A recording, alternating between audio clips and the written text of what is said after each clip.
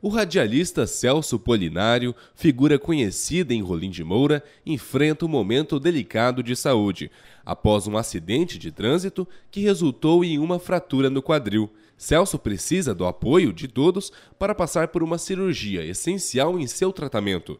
Em um ato de solidariedade, amigos e familiares de Celso estão organizando uma feijoada solidária no próximo domingo, dia 10 de novembro. Um abraço para você, para o Nelson, para o Almir que está no estúdio hoje, toda a galera aí da SIC TV. Pois é, sofreu uma fratura aqui, a gente sabe como é que é Rolim de Moura, né? Aqui todo cuidado é pouco no trânsito. Infelizmente fui uma das vítimas de acidente. Acabei tendo uma fratura no acetábulo, no quadril e também no joelho. E entrei no SUS já tem mais de três meses, vamos já para o quarto mês. Então os amigos se reuniram e disseram, vamos fazer alguma coisa, Celso? Não, você não pode ficar assim, não pode ficar parado, vamos se mexer.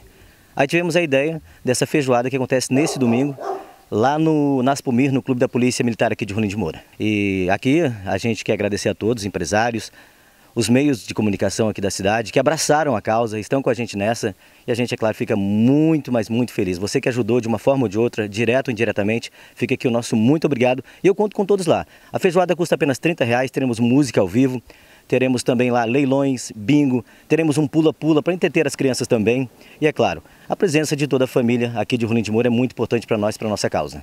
Toda a população está convidada, então? Todo mundo está convidado. Ah, Celso, mas eu não gosto de feijoada, nem como feijoada. Tudo bem, você pode chegar lá, tomar o seu chopinho, a sua cervejinha, o seu refri numa boa, tá? E compartilhar esse momento com a gente.